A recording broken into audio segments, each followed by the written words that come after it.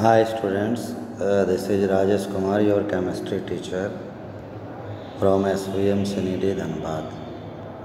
students आज हम लोग केमिकल काइनेटिक्स के अगले भाग की तरफ़ बढ़ रहे हैं। इस पार्ट में हम लोग क्या पढ़ने वाले हैं? First of all radio activity एक फ़र्स्ट ऑर्डर फेनोमेना है इसके बारे में पढ़ेंगे। फिर इसी का हाफ़ लाइफ पीरियड कैसे निकाला जाता है, वो भी देखेंगे और कुछ नंबरिकल्स भी देखेंगे। First of radioactivity is a first order phenomena first सबसे पहले हम लोग समझेंगे रेडियो एक्टिविटी होता क्या चीज़ है। The spontaneous emission of alpha beta and gamma rays from a radioactive element is called radioactivity बहुत सारे ऐसे एलिमेंट्स होते हैं, जिससे हमेशा रेज या रेडिएशंस निकलते रहते हैं अल्फ़ा बीटा गामा वैसे एलिमेंट्स को रेडियो एक्टिव एलिमेंट्स कहा जाता है, जैसे radium uranium thorium plutonium polonium etcetera तो अगर रेडियो एक्टिव एलिमेंट से स्पॉन्टेनियस एमिशन हो रहा है, इस तरह के विकरणों का या रेज का रेडिएशंस का तो इस फेनोमेना को हम लोग कहेंगे radio activity students radio activity का जो प्रक्रिया है, वो फ़र्स्ट ऑर्डर रिएक्शन है। ये हम लोग को कैसे पता चलेगा, उसके लिए हम लोग देखते हैं। From law of radioactive disintegration the rate of disintegration is directly proportional to number of atoms rate law of radioactive disintegration के आधार पर हम लोग को पता है कि रेट ऑफ़ डिसइंट्रीगेशन जो होता है वो डायरेक्टली प्रोपोर्शनल होता है नंबर ऑफ़ एटम्स के। यानी minus D N by D T proportional to N जहाँ D N by D T rate of disintegration है, चूँकि टूट रहा है, इसलिए माइनस साइन है N number of atoms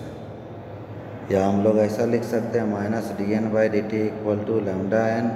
lambda को हम लोग डिसइंटीग्रेशन कांस्टेंट के नाम से जानते हैं, या डी के कॉन्स्टेंट के नाम से जानते हैं, और एन जो है नंबर ऑफ़ एटम्स है। तो D N by N equal to minus lambda D T दोनों तरफ़ इंट्रीगेशन लेंगे तो हमारा हो जाता है डी एन बाई एन का इंट्रीगेशन एल एन एन और माइनस लेमडा आपका कांस्टेंट है इंट्रीगेशन सरफेस के बाहर रहेगा डी टी का इंट्रीगेशन टी प्लस सी यहाँ सी जो है इंट्रीगेशन कांस्टेंट है। मान लेते हैं शुरू में टी इक्वल टू ज़ीरो तो N equal to N naught या एन ज़ीरो हो जाता है, जो कि इनिशियल नंबर ऑफ़ एटम्स है। तो अब हम लोग इक्वेशन वन में टी के जगह में ज़ीरो और एन के जगह में एन नॉट पुट करेंगे तो सी का वैल्यू आ जाता है एल एन एन नॉट तो हमारा इक्वेशन वन इस रूप में परिवर्तित हो जा रहा है। L N N equal to minus lambda T plus L N N naught हम लोग लॉग का टर्म जो है एक तरफ़ कर देते हैं तो हमारा हो जाता है L N N naught minus L N N equal to lambda T हम लोग को पता है log M minus log N equal to log M by N होता है तो उस आधार पर L N N naught by N equal to lambda T या lambda equal to one by T L N N naught by N या इसको हम लोग लॉग बेस टेन में बदलेंगे तो lambda equal to two point three zero three by T log base ten N naught by N ये हमारा जो इक्वेशन आया The expression for radioactivity resembles the expression of rate constant of a first order reaction.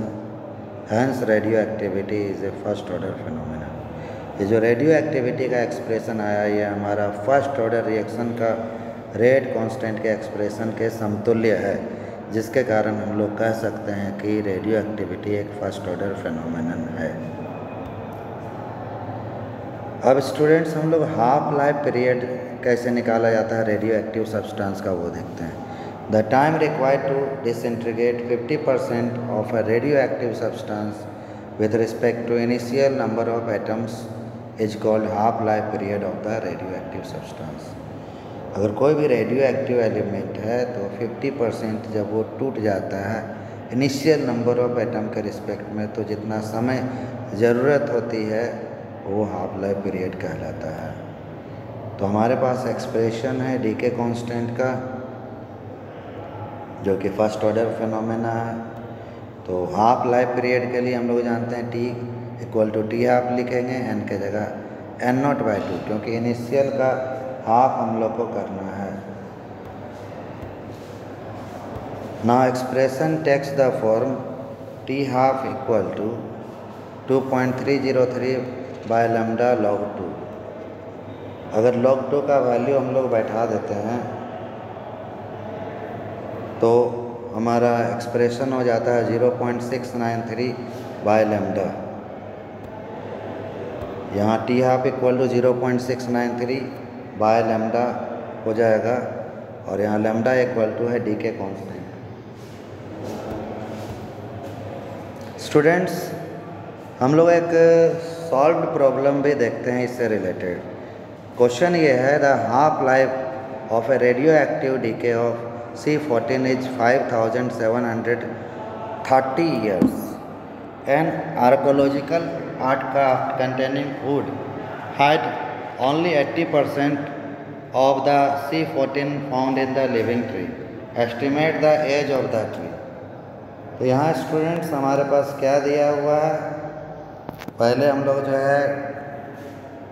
D के constant निकाल लेंगे, यहाँ rate क्योंकि radioactivity first order phenomena है तो डी के कॉन्स्टेंट जो है रेट कॉन्स्टेंट ही होता है तो उसके हिसाब से हम लोग यहाँ के ही लेकर कर ले रहे हैं, कोई दिक्कत नहीं है तो K equal to zero point six nine three by T half ये पुट करेंगे तो हमारा आ जाएगा one point two one into ten to the power minus four per year अब स्टूडेंट्स हमारे पास आर नॉट अगर 100 लेते हैं तो उसके रिस्पेक्ट में क्वेश्चन बोल रहा है कि 80 परसेंट ही रह जा रहा है आर यानी फाइनल नंबर ऑफ़ एटम्स हमारा के का वैल्यू निकाल चुके हैं फॉर्मूला में बैठाएँगे फ़र्स्ट ऑर्डर का। तो हमारा टाइम निकल जाएगा 1845 ईयर्स स्टूडेंट्स हम अगले प्रश्न की तरफ़ चल रहे हैं। ये प्रश्न है during nuclear explosion One of the product is strontium 90 with half life of 28.1 years. जब न्यूक्लियर एक्सप्लोजन होता है तो एक प्रोडक्ट बनता है स्ट्रॉन्सियम 90 जिसका हाफ़ लाइफ पीरियड बताया गया है 21 28.1 years if one microgram of strontium 90 was absorbed in the bones of newly born baby instead of calcium calcium की जगह में अगर वन माइक्रोग्राम स्ट्रॉन्सियम 90 अगर नए जन्मे बच्चे के हड्डी द्वारा एब्जॉर्ब किया जाए कैल्शियम के जगह में how much it will remain after 10 years and 60 years तो कितना बच जाएगा 10 ईयर और 60 ईयर के बाद? If it is not lost metabolically अगर वो मेटाबॉलिक प्रोसेस के आधार पर लॉस नहीं हो। स्टूडेंट्स यहाँ सबसे पहले हम लोग जो है डी के कॉन्स्टेंट निकालेंगे। यहाँ के, क्योंकि फ़र्स्ट ऑर्डर रिएक्शन है तो यहाँ के को ही हम लोग डी के कॉन्स्टेंट समझ लेते हैं। तो ये हमारा हाफ़ लाइफ पीरियड दिया हुआ था, उसके हिसाब से zero point six nine three by twenty eight point one आ जाएगा। ये two point four six six into ten to the power minus two per year to calculate the amount of left amount left after ten year ten year के बाद कितना बचता है उसके लिए निकालेंगे। तो आर नोट जो है वन माइक्रोग्राम है। टाइम टेन ईयर्स के का वैल्यू दिया हुआ है आर निकाल लेंगे। तो पुट करेंगे फॉर्मूला में। पुट हाँ, करेंगे फॉर्मूला में तो हमारे पास कितना आ जा रहा है? Log R equal to minus zero point one zero seven आ रहा आ रहा वन आ रहा है। इसको हम लोग एंटी लॉग लेकर इसका वैल्यू निकाल लेंगे। उसी तरह सिक्सटी ईयर्स के बाद कितना बच जाता है अमाउंट उसके लिए हम उसी तरह से करेंगे। वहाँ टेन ईयर्स के लिए किए थे सेम पैटर्न अपनाएँगे अपनाएँगे सिक्सटी ईयर्स के लिए करेंगे तो हमारा आंसर आ जाएगा zero point two two seven eight microgram students आज यहीं तक, फिर अगले दिन नए वीडियो के साथ, धन्यवाद.